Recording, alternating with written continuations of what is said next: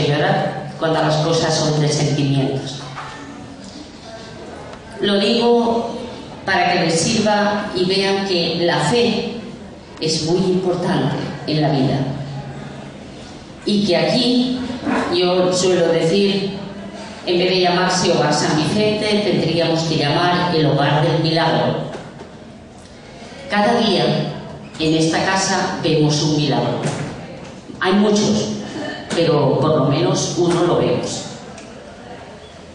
El 15 de diciembre, mejor dicho, el 14 de diciembre, yo quería pagar a los empleados eh, la aguinaldo. Si les pagaba el aguinaldo a los empleados, me quedaba sin nada en la casa. Una casa donde vivimos casi 80 personas. Una casa muy grande, en la que simplemente una lavadora se echa a perder y cuesta dos millones de repuesto. Por la noche yo comenté con las hermanas, ¿y qué hacemos? Si pagamos, nos quedamos sin nada.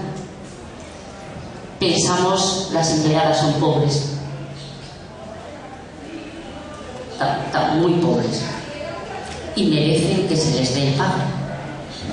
Vamos a confiar en Dios y Dios nos remediará. Yo me quedé después de rezar el Evangelio que rezamos todas las noches al acostarnos, me quedé y preparé el pago para los obreros. Al día siguiente se quedó en la casa 15 de diciembre, se quedaron en casa 200.000 bolívares y en el banco tampoco había. Imagínense lo que son 200.000 bolívares. A media mañana, el carro que estaba echando broma hubo que comprarle las bujías y me quedaron 125. Yo todo el día rezaba, Dios mío, que no pase nada, que no pase nada, que no tenga ni que comprar ni media medicina y que alguien venga y se acuerde de estas abuelas.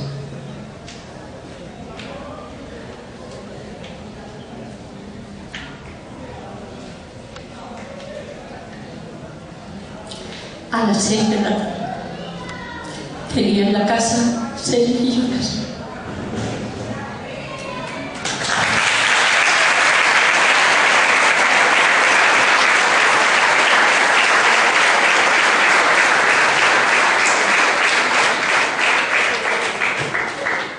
Bueno, buenos días a todos muchachos. De verdad, en nombre del Departamento de Extensión, Cultura y Deporte les damos las gracias. Los, los en ingreso me conocen.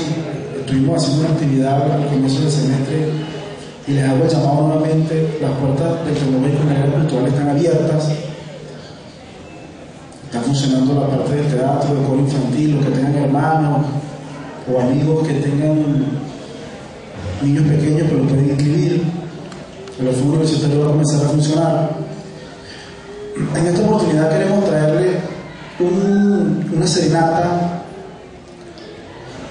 a estas abuelas. ¿no? Eh, muchas veces nosotros los jóvenes somos insensibles en muchas acciones pues, que, que hacemos a diario y que la madurez es lo que nos va demostrando qué hacemos bien y qué hacemos mal.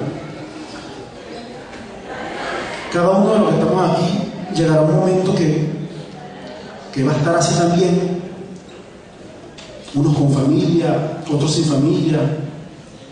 Lo ideal es que la familia pues nos preste esa mano.